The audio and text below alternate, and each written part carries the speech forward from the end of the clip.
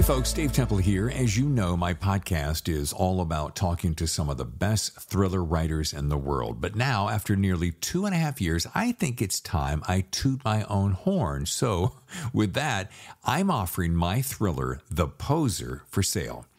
This thriller stars Hollywood detective Patricia Pat Norelli, a rookie cop working the overnight beat when one of Hollywood's biggest stars is found dead in her Hollywood Hills home.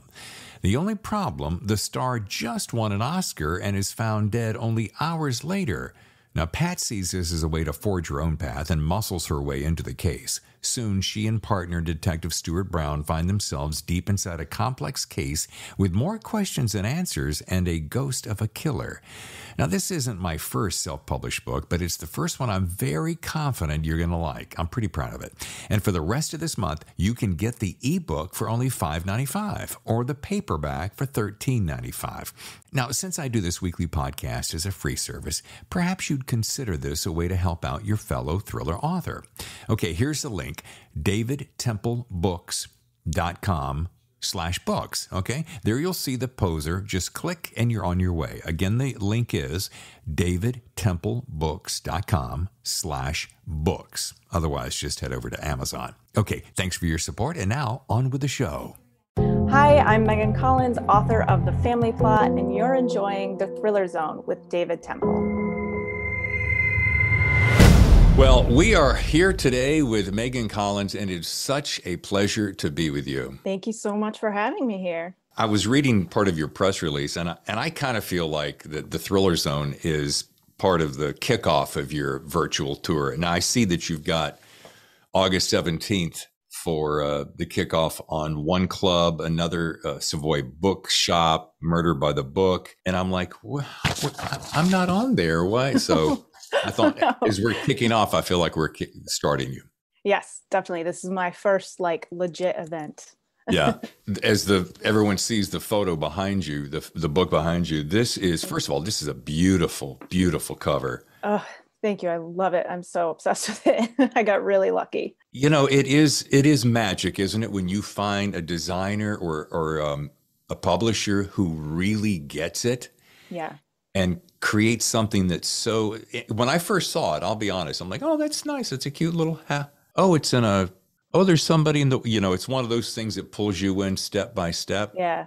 And of course, we're talking about the family plot, which is your third book. First, The Winter Sister, Behind the Red Door, and now The Family Plot, which drops in just a couple of days. Uh, how, how do I start off? I try to think of like singular words that really work harrowing, disturbing, definitely, palm sweating, and uh, of course, the the line that kicks off everything for me. They love true crime until they're at the center of one. Mm-hmm. Thank you. Tell me where this plot of the family plot came from. Well, usually it, it came a little backwards for me because um, usually I get an idea in my head, sort of a what if question that just starts to fascinate me for a while. Like for my last book, Behind the Red Door, the question was, what if someone who was famously kidnapped as a child then went missing again as an adult and what would happen so from there the story started to kind of unpeel and show itself to me. But for the family plot it actually started with the title. I was working on something else. I could not figure out a title. We were ready to submit it to my publisher basically. I had all my sample materials ready and I just needed a title for it. And so I was talking to my husband and I was asking him for some suggestions. And I said, I want something that speaks to the family aspect of the book because families are already always a big part of my books.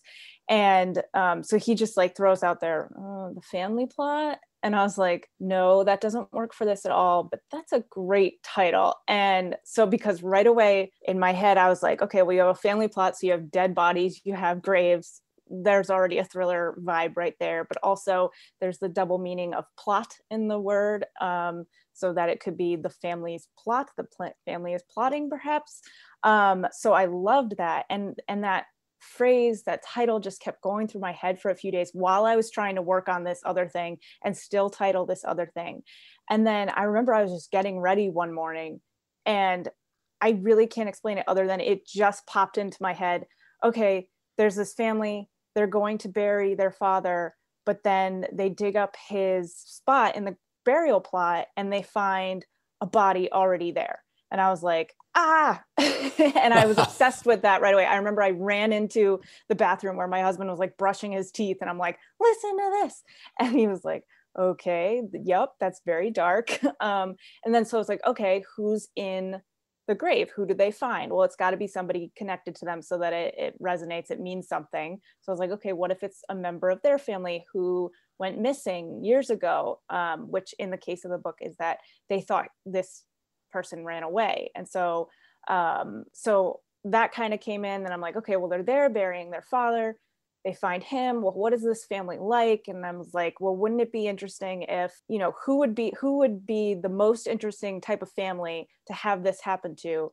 It would be a family that maybe is already really steeped in the language of murder and crime and all of that because this family has a very unusual upbringing um, in that their mother homeschooled them and included in her homeschool curriculum all these true crime stories so the children as young as i mean in the in the very first sentence you learn that the narrator learned um, her namesake, which is her name's Dahlia, and she was named after the Black Dahlia.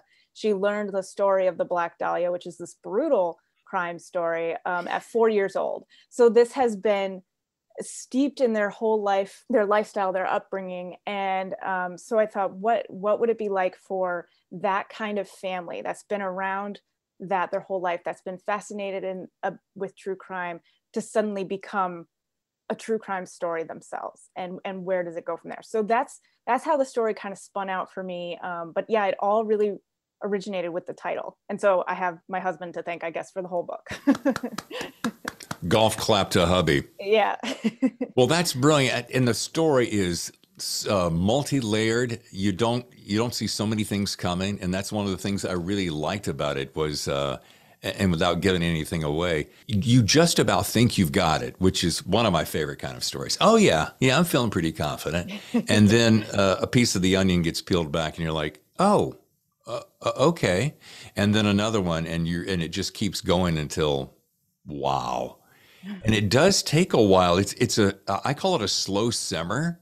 Mm-hmm. So it's like you put something on the oven and you just let it simmer, and then all of a sudden you turn the heat up a little bit and it starts boiling that was the family plot and I, I loved it thank you so much and i'm just as a little bit of background because you know i talk to so many authors they're you know especially with thrillers they're former military they're former cops they're former detectives they're former fill in the blank very few so far uh, are former ba english uh, teachers wheaton college mfa in creative writing boston university you've taught at both greater hartford academy of arts and Central Connecticut State University.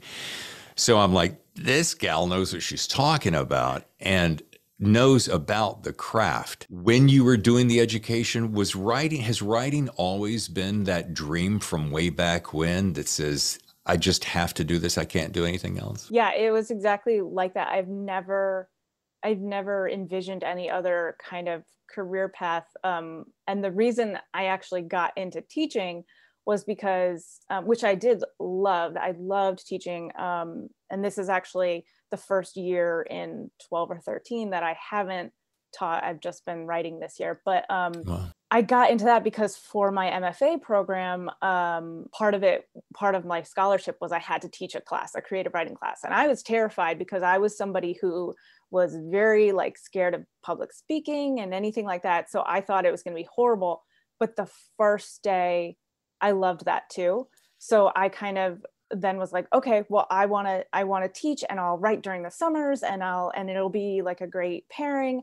Um, and so I did, I did do that for um, 12 years and it really was amazing. Um, and it was a way to like leave my desk after I finished writing, go to work and still be immersed in the world of writing and language and craft and all of that. But yeah, for the most part, my whole life, I was just like, I just want to be a writer. I don't want to do anything else. And I'm really lucky um, because I saw this actually with a lot of my creative writing students was that they they would have parents who would be like, okay, yeah, you're a good writer, but what are you going to do that's practical? What are you going to do that's going to help you pay the bills? And i never got that message from my parents. They they really always supported me and were just like well yeah you love writing like you should you should do this. Um, and you know I, I mean it's it's worked out so far luckily so so but i'm just really grateful that i didn't have that voice being like no you've got to go learn biology or something you're not interested right. in just so you have something else. So yeah it's pretty much always been this and then luckily i was able to fall in love with teaching too. What a gift. Yeah yeah it, i i i was thinking the other day like i guess it's probably not not that many people that stick with one thing their whole life that they want to do and then actually get to say oh i'm living my dream. And sometimes when you're in the day to day of writing you kind of forget that because writing is hard and it's not always just really fun and magical. So but i like to kind of sit back sometimes and think okay no like you're doing the thing you wanted to do since you were 6 years old like even if writing's hard like it's it's a great problem to have. I'm curious because you're talking about teaching and writing at the same time. Uh, are you still managing editor? Uh, what is it three elements review? Yep yep. So that's another thing that i do and um, that's another place uh, it's kind of like just another way where i get to still be involved with language but this time it's um, well i guess this is the same with teaching, nurturing other writers and um, making space for other writers, which is really important to me. Um, so yeah, I do that too. I love that. I'm, I was sitting there thinking about your different characters. Um, Dahlia, of course, as you mentioned. By the way, side note, I loved, I always have wondered and have been fascinated by that Black Dahlia story and yeah. how gruesome it is. And correct me if I'm wrong, they never found the killer, right? No, I mean, I think that there's I don't think that there's a definitive answer. Um, I think that a lot of people have theories and there's been tons of books about it, but there hasn't been one like, yes, this is a fact and we know it for sure. Yeah.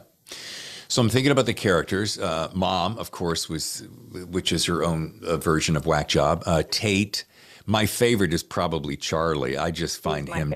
yeah, he's. Uh, oh, I kept. You know, I, I kept seeing different actors playing him in the movie uh, because it's always a movie in my head, mm-hmm. and I thought, boy, what a juicy role that that sarcastic, flamboyant, uh, disrespectful. He, he was just chewy is the best word I can think of. But back to Dahlia Lighthouse. What from what tormented dream did she come? well, so when I started thinking of who is going to lead this story, mm-hmm. um, one thing I wanted to do in writing this book was exploring, uh, you know, what does because so many people have a fascination these days and forever, I guess, um, with true crime. Um, but I think it seems more accessible than ever with all the podcasts and the documentaries and the books and all of that. Um, so I wanted to really look at okay, well, why is there that fascination? What does it do for us? How can it possibly help us? And in other ways, how might it hurt us to really saturate ourselves with true crime? Right. So I wanted um, Dahlia, in a way, each character is kind of a, their own answer to that question, but for Dahlia, I wanted her to be kind of representative of something I've experienced from so much true crime, which is that once you hear all these stories about all the different ways that people can be murdered or hurt or whatever, it's really hard to trust anybody or anything. It's hard. Like I always joke about this, but it's it's actually true. Whenever my doorbell rings and I'm not expecting someone, I'm like, I'm not getting that. That's a murderer. and people are like, I don't think murderers are so polite that they would ring, ring your doorbell. doorbell. And I'm like, that's exactly how they do it. They want to get my defenses down. But so I wanted Dahlia to represent that kind of worldview of not trusting anybody or anything. But the one person in her whole life that she did trust was her twin brother, Andy, who's the one that they discover was murdered. Um, and so now she's they always thought the family always thought that he had run away because there was this note that was left that sounded like a runaway note which mm-hmm. then they're like okay i think the killer made planted that there but um so for the past 10 years since he supposedly ran away dahlia has been devoting her life to just searching for him and not physically going out in the world because she actually stays pretty close to the island where she grew up so that if he ever comes back she could get back there really quickly. So she searches online for him all the time to the point where she doesn't really have, she has like one friend and no other like life really. So, um, so yeah so that's her character to me someone who is so singularly focused on this one person which yes it's her twin and yes it would be devastating to lose them but it's also not it's not healthy to have just that one person you're so dependent on um, and so i really saw that as being the effect that this lifestyle would have had on her. Yeah i did find it a little twisted that she was obsession is the best word that comes to my mind. Just obsessed with her brother. And even though he isn't uh, available in the story very uh, much I feel like, for however you did this, I feel like he's right there practically in every scene. I mean, okay. for some reason, it's it's palpable that he is there, and yet he isn't. Great, thank you. That was actually um, something I was worried about when I was writing. I think because because he's such a big part of Dahlia's life, I wanted him to still feel vivid, and and I kind of I had that issue. I guess I had that challenge in my first novel, The Winter Sister, where there's a, a character who's basically dead the whole time, but is such a big part. And um, so something I'm really interested in is how we sort of mythologize the dead and how we how we make them better than they were once once uh, they are gone. And um, Dahlia certainly does some of that. So there's kind of this rose-colored tint to her relationship with Andy that she remembers. So yeah, I definitely tried really hard to get that in um, without you know it, it's it's a little hard to do because he's never actually there on the page. He has he's only there through the lens of her. Well and and again to the point to to give you some uh, props there is i i i it was as though i could hear him in the room practically. So i don't know if that's my overactive imagination or your mission was accomplished because he was there. Either way thank you. Yeah. You don't care how it happens just that yeah. it happens. Yeah and speaking of that, to say the family is dysfunctional, I use air quotes, and that is not a spoiler. Uh, that's going to be an understatement. But do you find yourself drawn to families who are rough around the edges? And the reason I ask that is your debut novel, as you mentioned, The Winter Sister, your lead character returns home to care for her mother, making for a an uncomfortable reunion. Then follow up behind the red door. Your lead character once again returns home to help her father pack for a move. And so I wonder there's two questions that pops into my mind. Do you find yourself drawn to families really rough around the edges? Actually, I'm going to make it three. Did your family have rough around the edges? And number 3, will the next story have more rough around the edges?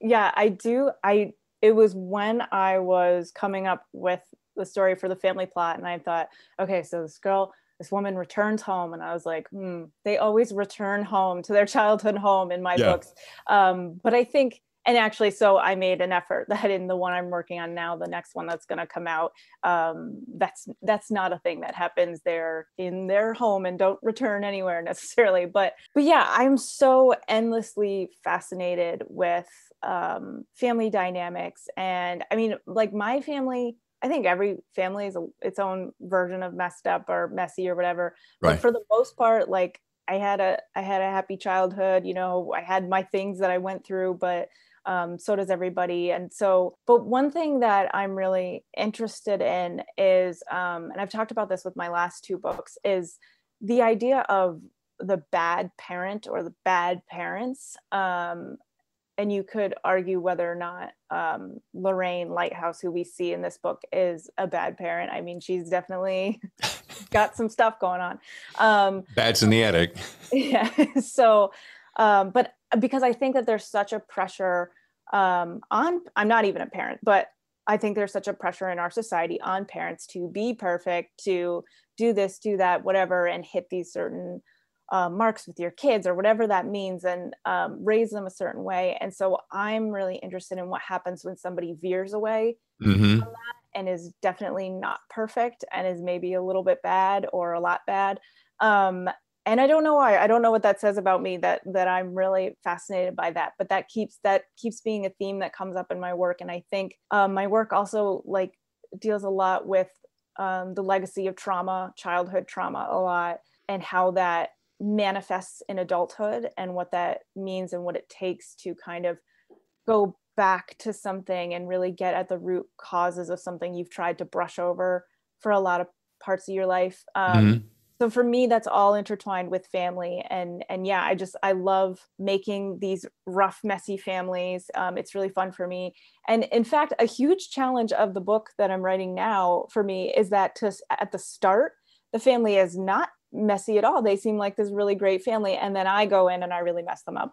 But um but but that's actually a big challenge. I'm like oh they're not like having at least at the start they're not having all this tension and weirdness and discomfort like they love each other and it's just great um but but yeah so i i love messy families i love dysfunctional families sure. i think there's endless possibilities for those stories well and if it was all happy roses unicorns and rainbows then uh, would anybody really sit down to read it you know right. And uh, plus, we love seeing, I used the phrase rough around the edges, and I did that as about as softly as I could because it really translates to effed up or uh, mm-hmm. screwballed or dysfunctional. Um, and I, back to the mother, and let's see if I can do this as delicately as possible without giving it away. And if I do mm-hmm. give it away, then I will cut it out. So I love the fact that back to the thing that the kids grew up, they love, they're fascinated and absorbed, uh, obsessed rather, with true crime. And it's a lot because of the mother's homeschooling. So then later, much later, you find out that some of those facts weren't quite the same, which has led them to build, not only build who they were upon that story, but now you're seeing them crash on the mental rocks with the mm-hmm. reality of what they thought was one thing was indeed not that. Yeah. Is that enough suspense to make people want to go buy it and not give it away? yeah. yeah, I think so. I mean, the mother definitely has a secret, and as you go through the story, you're going to be like, these people all have secrets. These people are all like hiding something, or at least up to something, or yeah. they're just they're they're a little unhinged. yeah. Unhinged is good.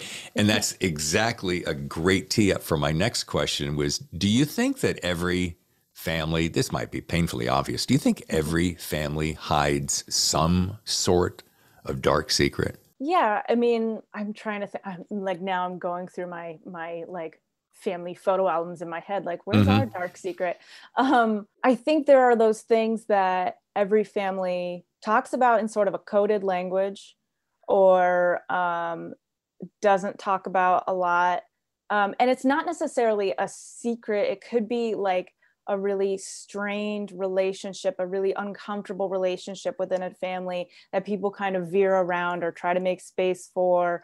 Um, but yeah, I think every family has something that is something that we don't talk about a lot or yeah. um or then you know it'd be interesting if you have a family and like that's all they talk about and they're like yeah. let us air our dirty laundry in front of everybody and make everyone uncomfortable i noticed that of course obviously your th- three books so far are standalones do you find yourself tempted or has your editor publisher agent come along and said you know what this would make a great series. Or do you have any ideas, Megan, for a series? Um, I I haven't.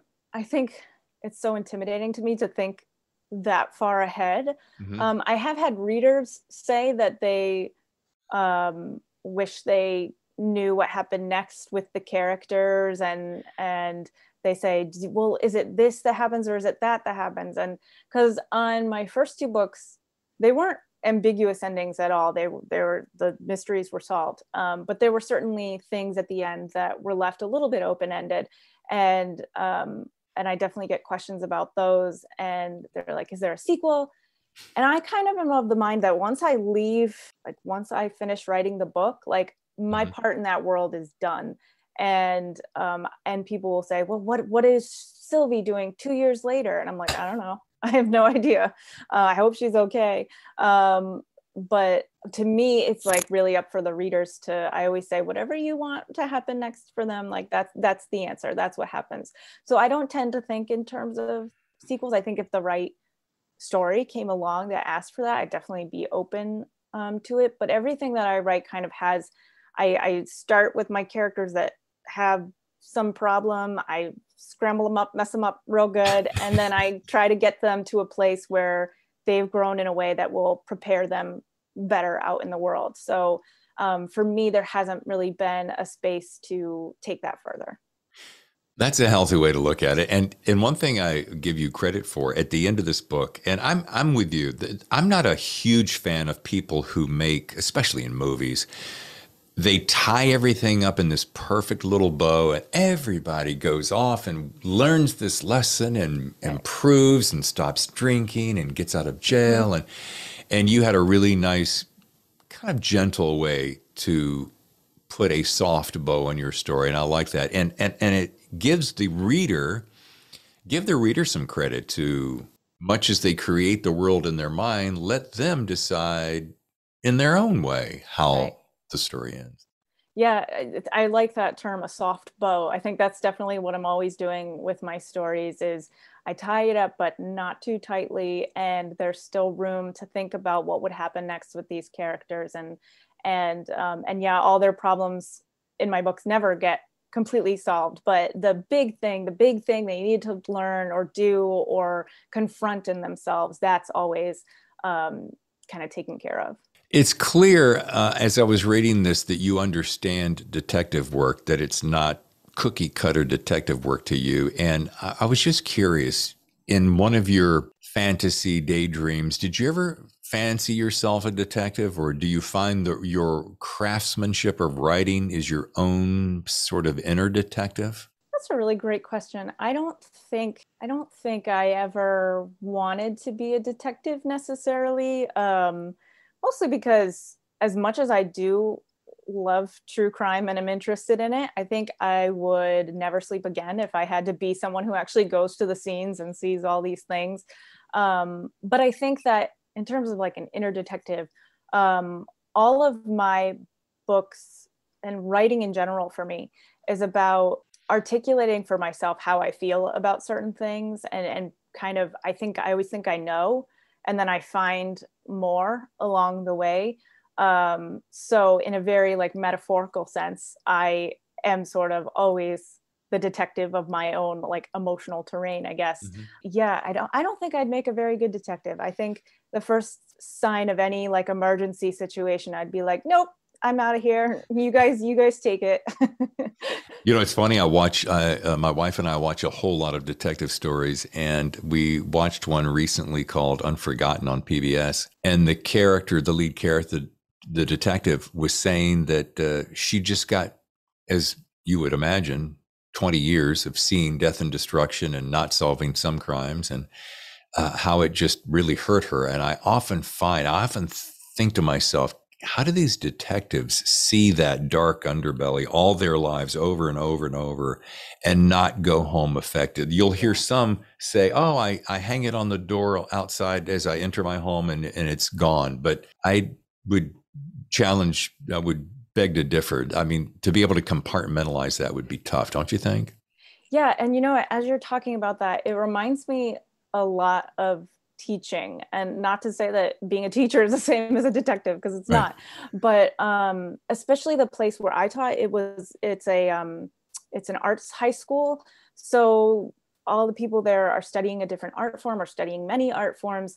And um, because of that and because of the population that we have we have a lot of emotions right at the surface and a lot of people who came to us with a lot of trauma and just situations that you know i'm not i'm not trained to handle but they come up in the classroom. And so they're you know when you were saying that thing about the detectives who the cases weigh on them that they weren't able to solve or the people they weren't able to help i think the same mm-hmm. is true of teachers too that like you try to help every student you can. You try to push every student you can to be where they need to be um, but there are some that you know are sort of beyond your reach or your capabilities or or whatever life just gets in the way. And and you don't. And i and i know that i would always say that i wish i had a job that when i came home i could just it was at work still. But i always took that home with me and always continued thinking about my students and how can i how can i reach them better? How can i help them more? Um, what can i do to make that person feel more comfortable in the classroom whatever it is so so yeah i never thought of this before but i feel like there's a connection there Yeah. And I want to give you some kudos because you're a teacher and you've been a teacher. And I, I have such a deep and profound respect for teachers. I, I can literally flash back right now and remember and name every single teacher from first grade to senior year. I'm sure everyone can do that. But my point is, I remember one in particular, fourth grade, Mrs. Powell she had such a profound impact on me in so many different ways. And uh, to this day, I think about her and I think about lessons that I've learned. And my point to that is, I think it's such an admirable and uh, ginormous, and there's a real word, uh, uh, profession to be in, and such a responsibility. And teachers should never take it lightly. And often i think it's interesting and you you touched on something is that you're able to be a voice to them that the parents aren't. They're looking at you not only as a teacher but you may be teaching even on a subconscious level something that they need to learn that they wouldn't listen to dad or mom at home but they'll listen to you. So applauds to you. Yeah i mean thank you and i agree about teachers. I think teachers are incredible and so necessary. And um, you know, I wish we, I I feel like we have so many policies and and just structures that kind of get in the way of teachers being able to actually uh, do the work that they want to do a lot of times. Um, but yeah, I think teachers are one of the most underappreciated um, professions uh, and I and I definitely I think that was definitely um, became clear, extra clear. I think in the pandemic when suddenly parents were having to teach their kids, and it oh, was yeah. like, oh, this this is really hard. Yeah. Um, and I wasn't. I was teaching a little bit during the pandemic because I, uh, you know, it started in obviously March of 2020, and I was still teaching then, and so we were doing like Zoom and stuff, but everybody who I wasn't teaching this past year with the really full brunt of it. And I just like, I, I just admire everybody who did that and who showed up every day, even though it was scary and hard and mm-hmm. crazy and you never knew what was going to happen. Yeah. Yeah. You want to say to the parents, not as easy as you thought it was, is it? Your kid's not always just a little ray of sunshine. yeah, you think they're an angel, we get to see the devil at work. Yeah. Okay who are some of the authors and it could be actors actresses it could be but I'm, I'm really thinking about authors because we're talking about writing. Who's someone that you really look up to that you admire tremendously? Oh uh, i mean there's so many but um, in terms of mystery writers uh, tana french is a huge uh, inspiration for me. Her dublin murder squad series is just amazing. Um, i mean amazing doesn't even cover it um, Gillian Flynn, uh, she's I I heard last night she's finally working on her fourth novel after Gone Girl, so maybe we'll get something new from her in the next couple years. Um, and th- she's unfortunately next one I'm going to say no longer with us, but Toni Morrison was always a huge inspiration for me. And um, I don't think I've mentioned yet, but my a lot of my background in writing is actually in poetry. My MFA was in poetry writing, oh. and so um, and and starting in high school, I started really writing poetry, and then fell in love with that. And so, Toni Morrison as a writer was the first one that really modeled for me that you can have a really compelling story with these amazing characters and um, and and just like people wanting to turn the pages, but you don't have to sacrifice language or um, the sound of it or the craft of it. And you can marry those and make both of them better as a result. Um, and she, uh, I feel like nobody did that better than Toni Morrison. Beloved is one of my all-time favorite books, and um, and yeah, so uh, so I think Toni Morrison, Gillian Flynn, Tana French, huge inspirations for me. If you weren't a writer, what do you suppose you'd be doing? I mean, I really can't envision myself doing something that didn't in some way have to do with books um, or stories. I used to really want to, in a very vague, not actually having any skills in this area way, um, make movie trailers because I just, I love, I think movie trailers are their own wonderful art form. Oh yeah. To, to condense a story down to two minutes with the music that makes like sometimes gives you chills with the little um, taglines or whatever, getting the right shots in. And then, of course, you're actually not telling the whole story, you're just giving them the teaser. I think it's um, just such an intricate, amazing art form. And I always like wondered what that was like to do it. I don't have any computer technology editing skills whatsoever, but maybe that's some way I would have gone. And I, I don't I don't know if there's anybody who their job is just to make movie trailers, but it's probably like a larger uh, editing or production thing. But that's something it, that interests me. Yeah, it is an art form. And having made a movie and then handing the movie over to a friend of mine and said, Here, make the most dynamic 90 seconds of juiciness that you possibly can, compiling my two hour movie. and and they and they do it, and it is an amazing thing. It's kind of like I thought about uh, uh, Ted Bell, last week's uh, Thriller Zone guest, and he used to be in advertising and he and i were chatting and talking about how the, his favorite thing is to create this entire world inside of 60 seconds to mm. start the story pull you in grab you by the neck or the heart or the tears or the mind and then wrap it up in 60 so i'm with you. It's that that would be an amazing can you imagine doing that all day long? That would be great wouldn't it? Yeah it would also i imagine be very tedious finding the right shot in the right sure. moment and all of that but and i think maybe like there's sort of a a tie between like my writing instincts and my um and and that fascination for me mm-hmm. because um like you said like you with these movie trailers you establish something right away, something that's going to hook somebody to keep watching the rest of the 90 seconds. Because we have such ways now to just be like, no, skip doing something else. And so for me in writing, like that opening paragraph, that first line is always so important. And when I read books, I can be like super interested in the premise, but if the first line doesn't really grab me, a lot of times I'll just put it down. So like I work really hard on opening lines and and like obsess over them to a degree that maybe is a bit too much.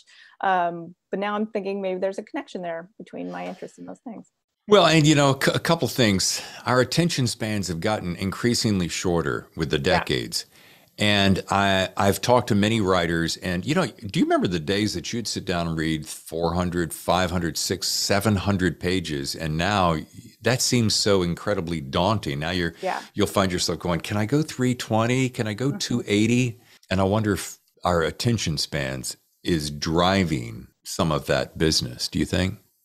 Yeah, I do. I mean, media is becoming like more and more bite sized, I think, you know, like even just with social media, like uh, the tweets are only a certain length. Uh, TikTok videos, you can't have one that's too long or somebody's going to move on.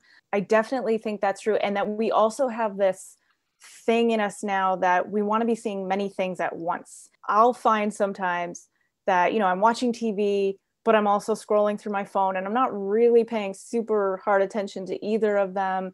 And then it's hard for me at night when my phone is near me to really like get soaked into a book because if the phone dings i pick it up just to look at what it was and then my hands just naturally go like to twitter or instagram.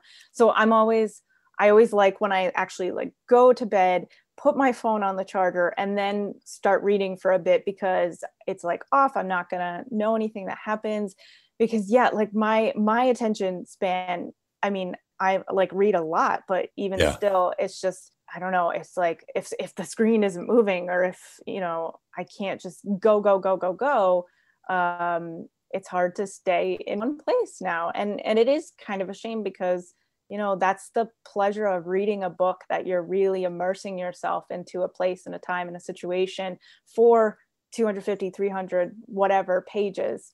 Um, and it's not meant to be something that changes very rapidly. It's sort of this slow arc over the whole thing. Um, but yeah yeah.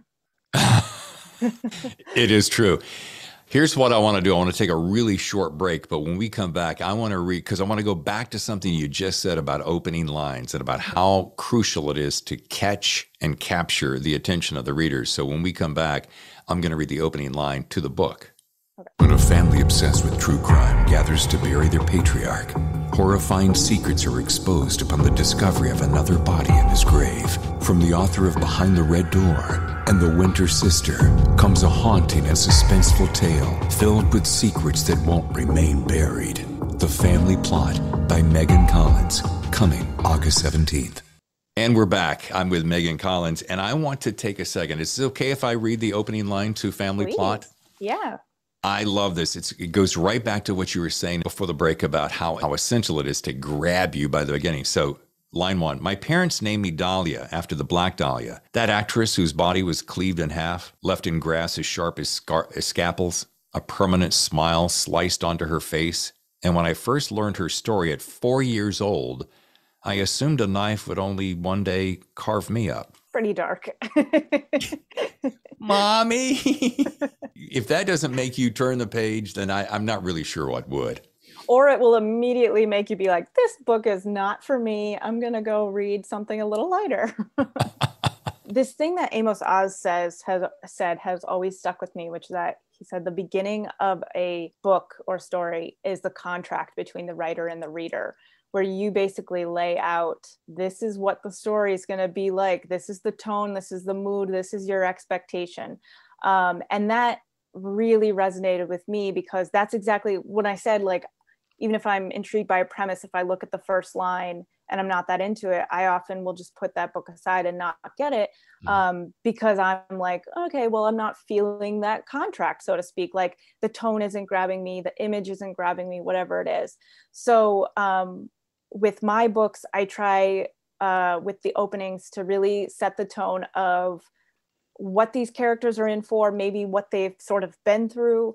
Um, and so with that opening line, you're right away getting that well first of all that that this character was named after this woman who was brutally murdered and, and that she learned about it at four years old. So you know right away she did not have a normal upbringing. And it was pretty disturbing um, and also it gets that part where she says i assumed one that a knife one day would carve me up. It kind of gets at that aspect of dahlia i was talking about before that she doesn't trust anybody and that um, the only person she trusted was her brother. So i tried to pack that all in. Um, and also you know she gets really intricate narrating that image of the black dahlia because that's something that has been sort of ingrained into her throughout her life. So yeah so with the opening i am telling a reader this is going to be dark this is going to be weird um, this is going to be pretty unsettling but if those are your things like let's go Pull up your big girl pants. Let's rock this thing. yeah.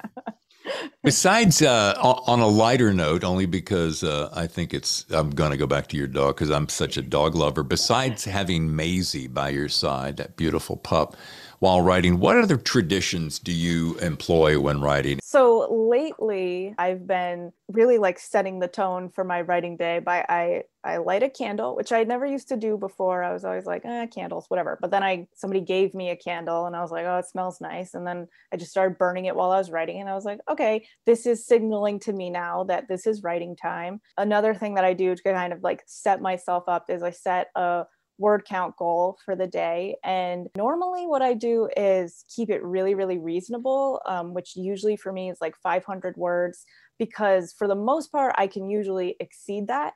So then, if I exceed that, I feel like a rock star. Like I, I was amazing because I beat my goal for the day, even if the goal like wasn't that strenuous to begin with. This is one thing I always encourage my other writer friends who are trying to get into that habit is you have to you have to do this. You have to say to your family members, when I close that door, or as my sister does, she has this little um, gnome like you'd see in yards and you've seen in TV commercials. She has a gnome that she places outside her door so that uh, anyone else in the house, when they see the gnome, there's no coming in. I don't care unless the house is on fire.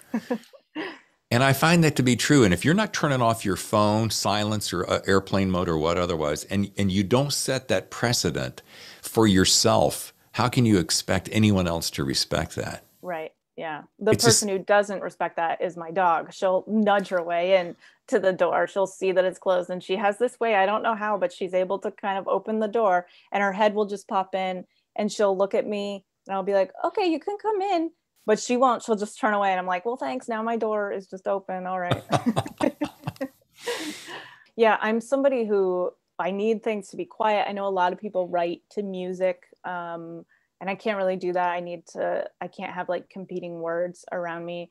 Um, I guess maybe I could to just like, like a score or something, but I've never really tried that. Um, and yeah, I got to be kind of in the same place the same day. And it's all about like just triggering that habit every day. Did you get a copy of my notes? Because you're reading my very next question.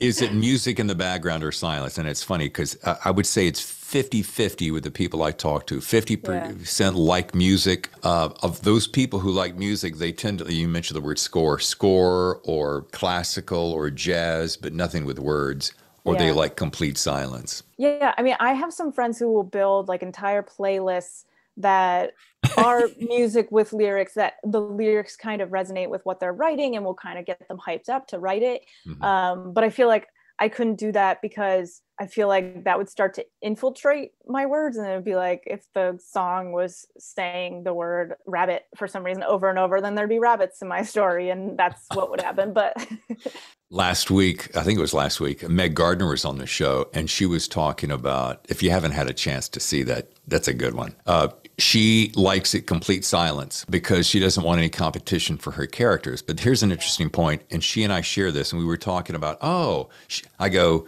do you use Spotify? She goes, no, I use Amazon Music. I'm like, oh, I use Spotify to build my music score list because we both share this. When it's editing time or you want to punch up a scene, I think her favorite was Gladiator. Oh. And, yeah, and mine was any of the Bourne stories. And are you pen, paper, or keyboard?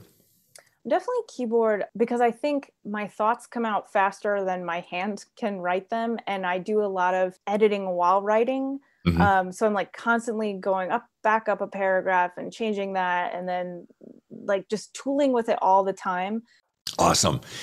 As we start to wrap things up, I got three questions I like to throw at a lot of my authors, and you're going to be great at this. So, the Thriller Zone is hosting a suave dinner party. And let's say you get to invite two or three people that you'd love to, to meet, whether it's dead or alive. Who would they be here at the dinner party? We're serving fabulous food, fabulous drinks. You and your husband, and two or three of your favorite. Who would that be? I think Tom Hanks would be a very uh, soothing, comforting person to have around the table. He'd be funny. We could talk about typewriters, and yeah. um, and he'd just have a lot of great stories. Um, I'm gonna say Toni Morrison because, like I said, she's one yeah. of my huge influences. I would probably immediately like shut down as a human because I would be like, I am in the presence of such greatness. I nothing I say could be worth your time. So you just have your meal and I'll be over here um, and uh, Michelle Obama because I love her. Oh, awesome! you know that's funny that you would say that, and we all, I think we all do that. And I bet you, if you ask Toni Morrison or Tom Hanks the same question, they may go. What have I got to say at a dinner party? You know, Megan's got a lot more interesting stories to tell, isn't it? Go ahead and live with that for a second. I think it's interesting that we do that, and I think we shortchange ourselves because um, we put them in some kind of a spotlight that they they certainly deserve it as far as accolades of their talents, but they may say, "Man, I'd love to hear what Megan has to say about this." You know? Yeah, I mean, I'm sure that I'm sure it's so different on the inside than it is on the outside because they're all still just people. Exactly. And they all have the same human needs and problems uh, that we all have. Maybe not the same problems if you're like really really rich. Here's number two super easy. You're going to take okay. a long trip. You have one book to read and you have one cd to listen to. Let's pretend you still had a walkman cd player. I think i would take night film by marisha pessl which is one of uh, my all-time favorite books it's it's like 500 pages long but it it only took me like two days to read it. I could not stop reading it. You know you hear people say like those can't eat can't sleep type of books but like this is really i think i skipped lunch while i was reading this book which like i'm always someone who's like when's my next meal? I'm i'm hungry. I want to eat again. Um, but that book is the most compelling immersive thrilling chilling all the things book and it's nice and long so it would help me along in that journey. Um, and for a CD, I think I would take definitely a Fiona Apple CD because she's amazing and I love her. And she's also very, her lyrics are really inspiring. So it would keep me in kind of a place of if I wanted to start writing or whatever, I might be able to hop into that. Excellent. So maybe um, her album Extraordinary Machine, because I think that's my favorite one. All right, last question.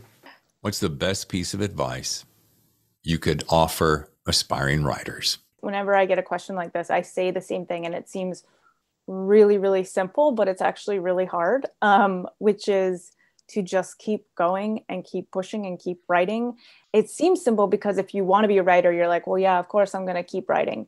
But when you, if you're a writer whose goal or dream is to be published, you then come across the inevitable rejections. And it, you know, no matter who you are, no matter how great your story is, you're going to have those rejections. And it's really hard and it can be demoralizing and it's disappointing and it's this whole roller coaster and people would always say to me like when i was trying to get an agent and then when i was trying to um, get a publisher um, they would say you know it only takes one yes. And i'm like oh, yeah, i know uh, but right now it's just a lot of no's.